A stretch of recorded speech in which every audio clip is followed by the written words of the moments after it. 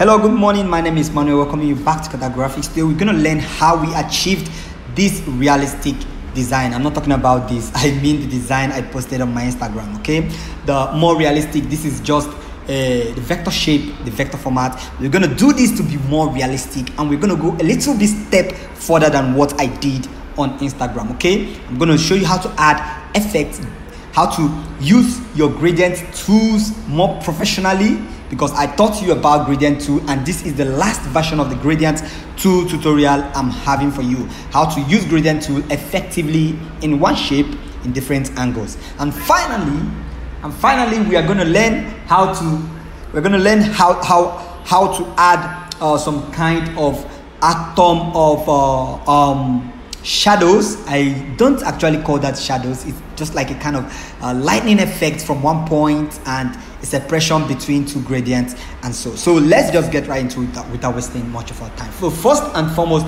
to create this this uh, separation from this to get a gradient first we have to add a general gradient to this. But for that we select only one point and we add a single gradient. We choose this color as the gradient format we're using so once we choose this color, we can now redirect the gradient uh, uh, color to a point that we want, okay?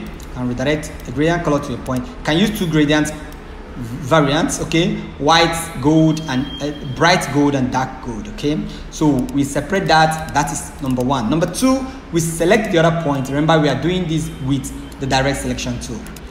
We select this other point and we also apply the same gradient to it okay we select this other point and we apply the same gradient to it. So we have gradients all over this. This is first step you need in achieving whatever you want to do. So second step we move on to creating these gradient shadows between these different objects or the different uh, uh, uh, shapes in this design. So what we're gonna do is create a circle a very big circle. You see what i'm creating is a very large circle okay this is okay. So it could be any color. It could be any color whatever. So what we are trying to achieve here is this. Let's let's remove this color first so that we can see what we are doing. What we're trying to achieve is we are trying to make this circle walk from this point to this other point okay? We want it from this point to this other point and still maintaining the shape inside of this.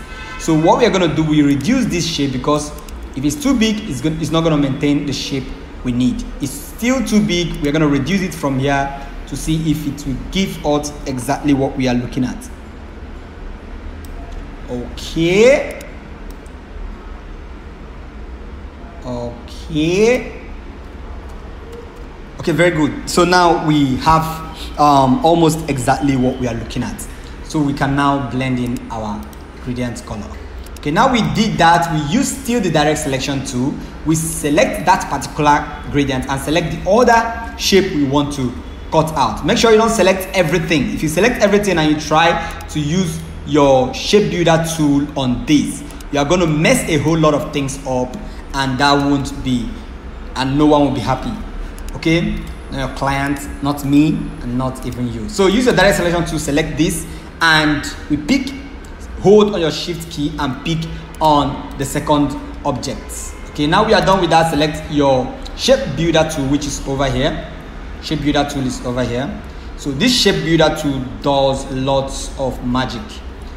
So when you are selected the shape builder tool you hold on the alt key. If you want to learn tutorial about tutorial about shape builder tool go to the youtube channel check down you see a specific tutorial on shape builder tools. So we erase this part and you see what we have here? We have this other shape. Now if you notice we have this other shape but we don't have the effect we are looking at because this gradient is still facing the same part which the first gradient is facing which means this gradient we are supposed to face the gradient bright color to the other side and dark color to this other side. So this is the wrong format so we are going to draw from this part so if, you, if i draw from the from the uh, east to the west we are going to get achieve the same thing we have before. We are draw, drawing from the west to the east. See the difference now. You're going to notice a huge difference. So let's go out and see. See what we have there? Very brilliant. See, looking very realistic. So that's number one step. We are achieved that. The next step, let's move to the next. this next step we could also use the circle we could not use it if we don't like but let's try the circle to create some kind of effect like a kind of feather from the neck. So we create another circle and we drag it to this other point. See what i'm doing? Make sure you you make it work according to the angles. Do not use shapes that that won't work. Okay see what i'm doing? I'm not affecting it here. I'm making sure it revolves around only this other shape only this other shape what i mean by only this other shape you see this shape that we have extra layout inside of the circle we just drew? That's what we want to achieve. So once we select that use the direct selection tool also and hold your shift key and select the both of them. Use your shape builder tool and hold alt key to remove this part you don't want. Okay? Now we have this shape but we have a problem here. We have this extra layout going out here. Only what we want is this. So what we're going to do is select on this and delete it and that is it. So we're going to create the same circle for the second shape.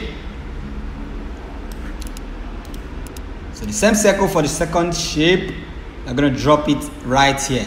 And we also use the direct selection to hold the shift and select and also we hold and also we hold our shape builder tool hold the alt key and erase again remember we don't want this you delete it. Now the second shape we created have covered the first shape we created. We don't want that. What you're going to do select on this. Let me zoom closely so you see exactly what i'm doing. When you select on this particular one you go to your layer panel. You see the shape is over here. What we're going to do is practically to move this part, which is the one beneath here, we move it above so that it will be showing. Okay? So that is just it. So that is just it. Uh, let's zoom out. Control X. So you see what we got here? What's going on with my keyboard?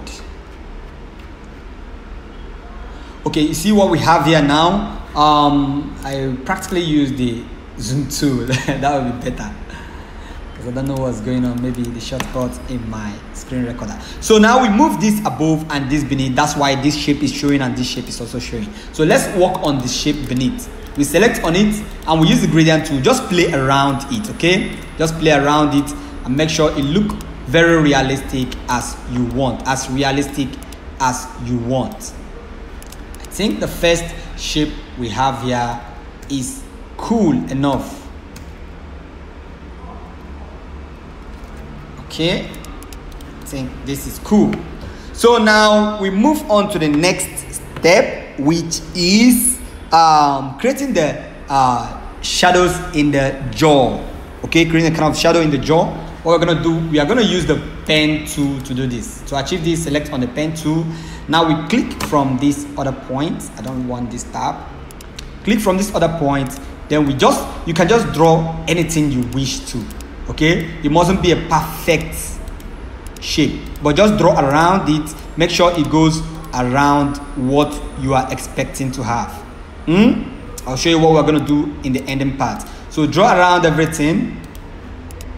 Now we draw around that. We select on the direct selection to hold the shift key select everything and also go to shape builder tool and we erase this part. But this time around we are having a big issue here we're having a little bit bit of problem here. This one also covered the other part which we don't want. But before we get into that uh, let's still move it beneath the two shapes which we created. So the shapes will be present and we can work on this. Now we have that selected. Select on this again. Go to your uh, curvature tool. Select on the curvature tool. The curvature tool what you use it to do just keep double clicking on these points. So we double click on this point to make the shapes look even and smooth double click on this point double click on this point double click on this point double click double click double click. So we have the perfect shapes we are looking at. So now we can just use this to tweak it around to get exactly the kind of uh, shape we are looking at. Dig. So curve this slowly closely and so bring this a little bit down. And this up. This up a little. And that is it. That is just what we are looking at. So now this time around we select on this and we still play around with our two over here. Okay? Play around with our tool make this darker. And we select on this particular one and make this other side brighter so just play around until you get exactly what you are looking at. Just play around it to get what you are looking at. Select on this again. We're gonna play around it again a little more. Very good. Brilliant. Brilliant. So this is exactly what we are looking at. So this particular shape here we have two shapes here the one above this and the one beneath this. So we select on this delete it. Okay we have only one shape there. I think not as much so we play around with our tool here to get a cool effect and that is okay for me. So now we move to the final step. I don't like this. This is not very smooth. This this angle here is not very smooth. I don't like it if it's not perfect. So we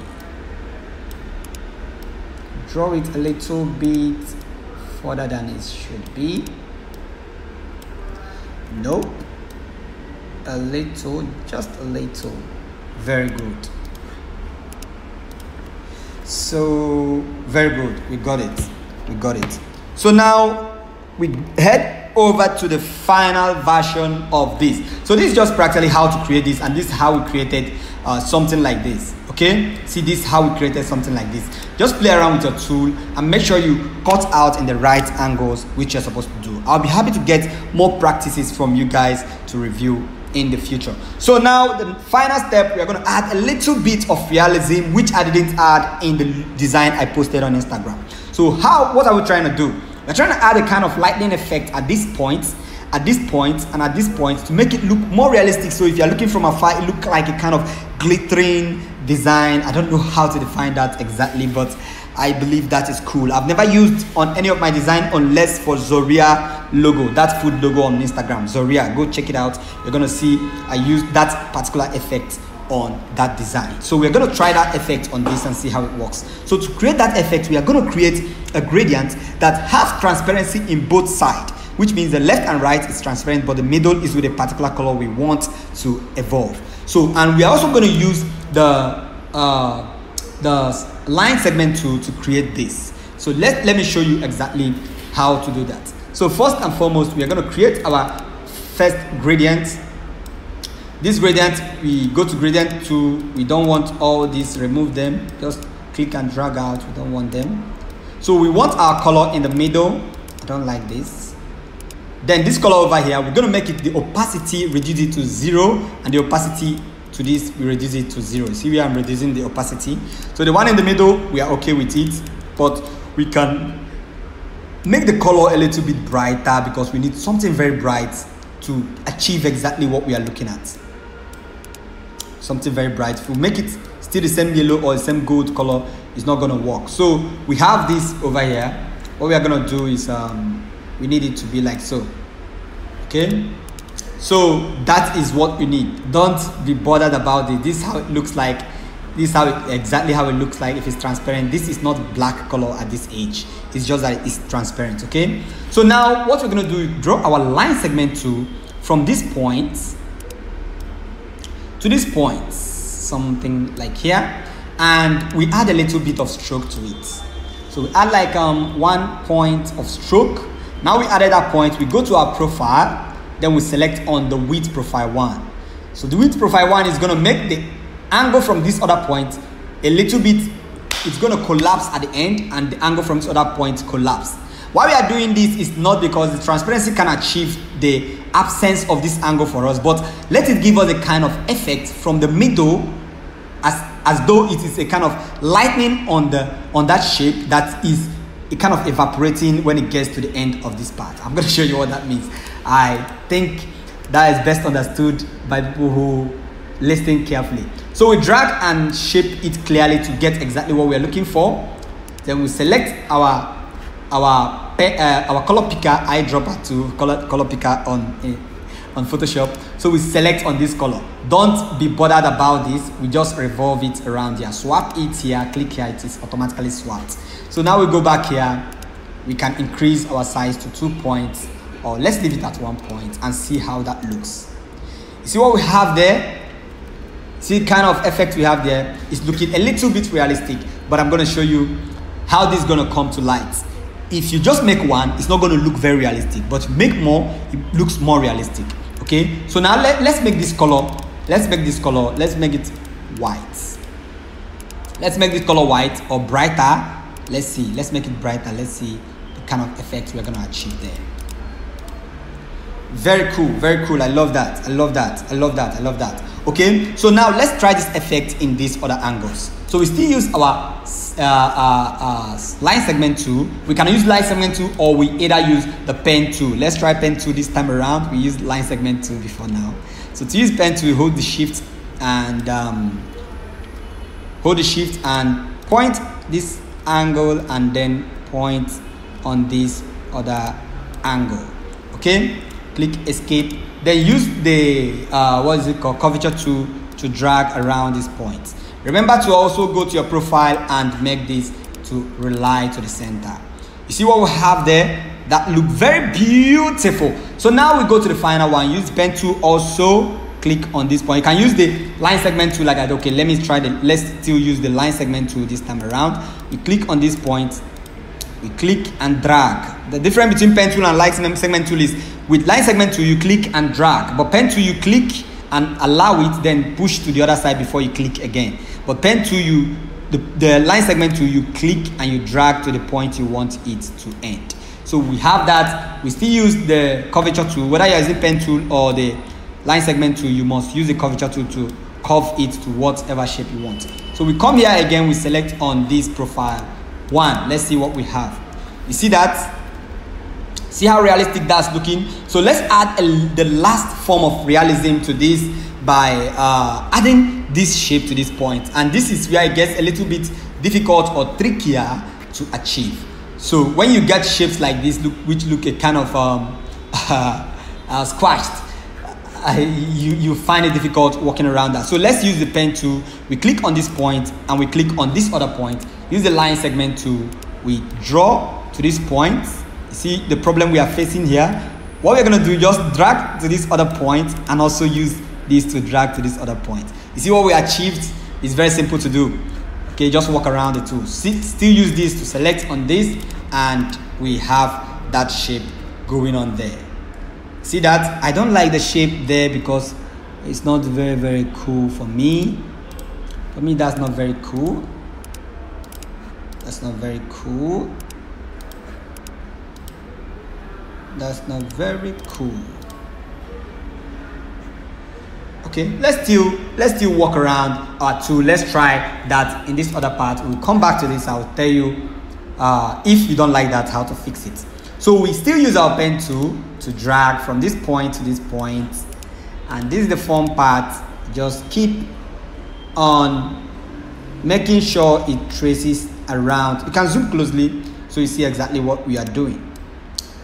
Trace this around this trace this around this trace this around this and bring this a little bit closer so that is it. We still use this to achieve our centering and we have that.